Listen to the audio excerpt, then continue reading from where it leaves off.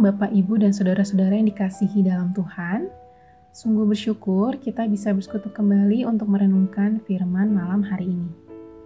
Renungan kita pada hari ini mengangkat tema mengelola amarah sebagai emosi yang sehat, yang diambil dari Efesus 4 ayat 26 sampai 27.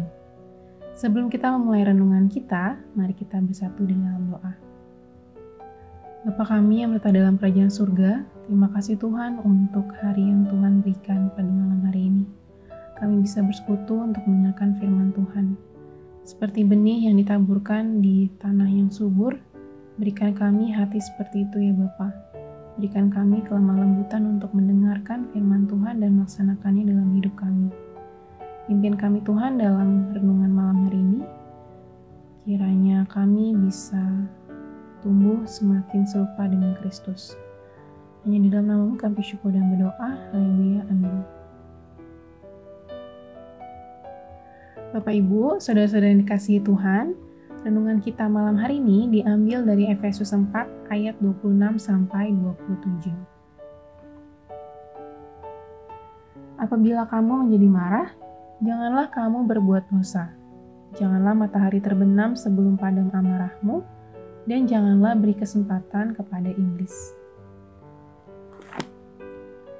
Bapak, Ibu, dan saudara-saudara terkasih, malam hari ini kita akan merenungkan bagaimana mengelola amarah sebagai emosi yang sehat dalam kehidupan seorang Kristen. Amarah adalah salah satu emosi manusia yang paling dasar. Saya yakin setiap orang pasti pernah marah. Dalam kebanyakan kasus, amarah yang menggerakkan seseorang untuk menyakiti diri sendiri atau orang lain merupakan amarah yang egois.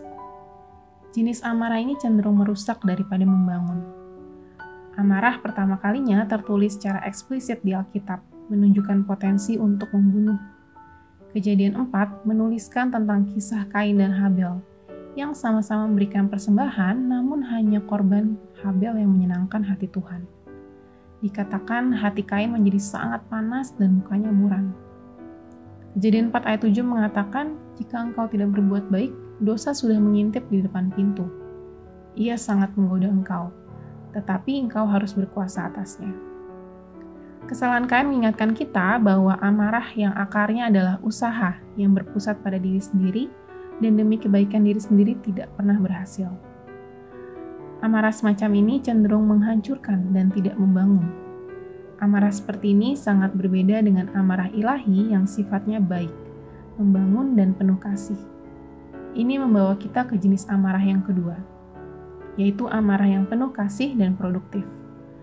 Karena ada larangan yang jelas di Alkitab terhadap amarah yang merusak, banyak orang merasa yakin bahwa semua amarah adalah dosa. Kita kerap kali salah mengartikan ayat yang kita baca di awal, Efesus 4 ayat 26 sampai 27 Kata-kata dalam Efesus tersebut tidak mengandung asumsi bahwa marah itu dosa.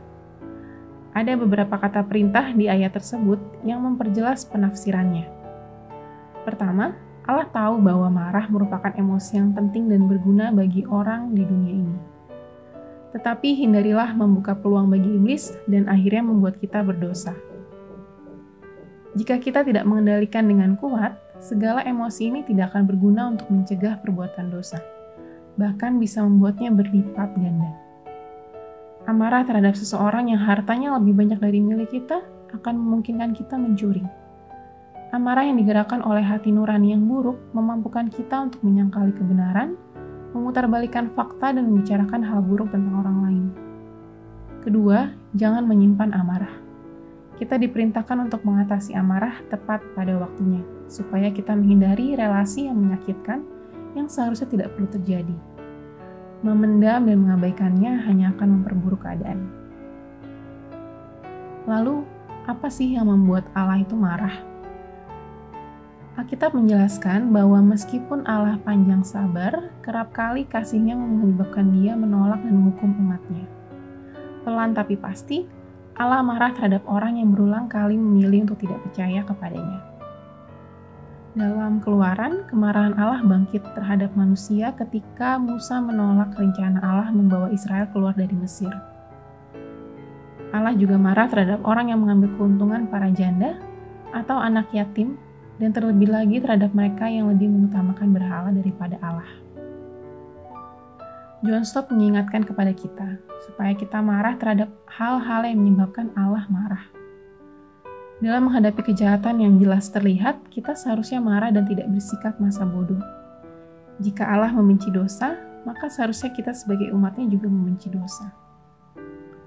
Ingat, kemarahan Allah bukanlah penyimpangan dari kasihnya, melainkan perluasan dari kasihnya.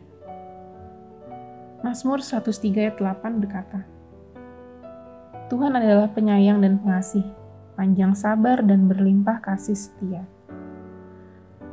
Allah marah karena dosa kita, tetapi dia juga sabar terhadap kita. Dia murka jika kita memberontak dan tidak taat. Imamat 26 ayat 27 28 menunjukkan contoh bagaimana murka Allah menyala-nyala. Dan jikalau kamu dalam keadaan yang demikian pun tidak mendengarkan daku dan hidupmu tetap bertentangan dengan daku, maka aku pun akan bertindak keras melawan kamu, dan aku sendiri akan menghajar kamu tujuh kali lipat karena dosamu. Lalu bagaimana kita mengatasi amarah dalam diri kita? Pertama, kita harus memahami dulu mengapa manusia bisa marah. Sebagai manusia, kita sering kali marah dikarenakan satu, hasrat yang tidak terpenuhi. Yakobus 4 ayat 1 sampai 3 mengatakan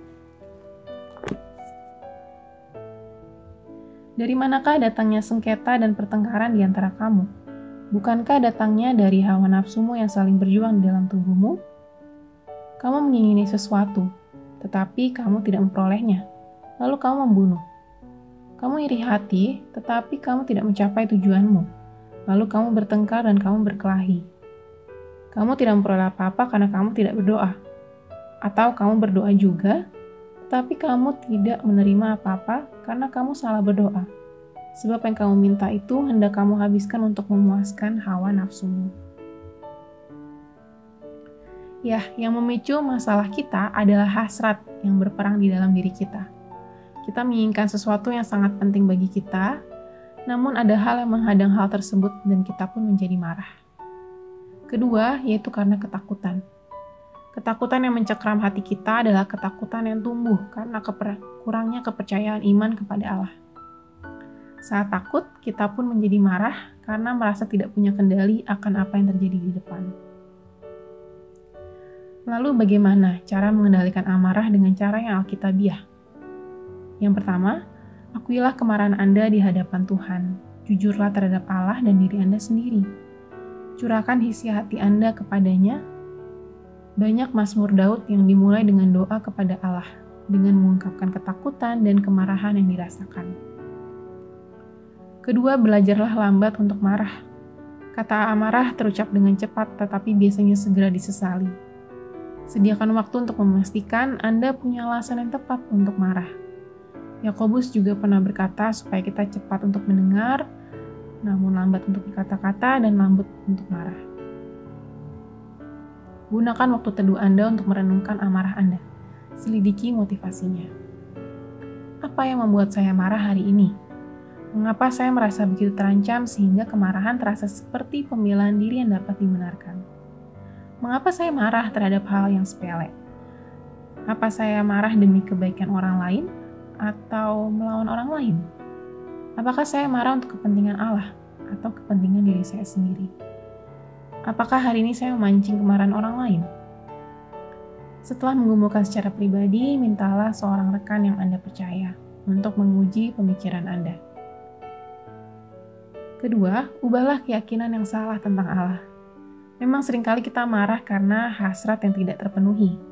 Kita memang dapat memohon kepada Allah untuk memenuhi kebutuhan kita. Namun jika hasrat tersebut berubah menjadi tuntutan kepada Allah, maka kita bukan lagi anak Allah yang mengajukan permohonan, tetapi anak yang memberontak angkuh melawan Allah. Jadi, solusi untuk amarah kita membutuhkan keyakinan yang mendalam terhadap kehadiran dan segala janji dari Allah.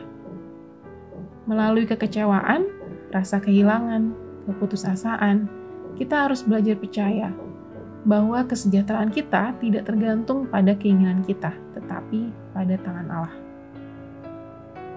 Dia tahu yang kita butuhkan. Tidak ada hal yang lebih penting selain belajar mempercayai Allah. Terakhir, akuilah kesalahan dan bertobatlah. Ketika pertobatan terjadi, rasa tidak aman akan mulai memudar dan digantikan rasa percaya diri. Tuntutan amarah akan berkurang dan tidak penting lagi. Kekuatannya melemah dan digantikan dengan dorongan untuk mengasihi. Pada saat itulah Anda akan mulai berlatih mengendalikan amarah Anda. Percayalah, di bawah kendali Allah, kita memiliki sejumlah kualitas kesabarannya. Sekian dari firman malam hari ini. Kiranya Tuhan Yesus memberkati kita semua. Amin. Mari kita bersatu dalam doa.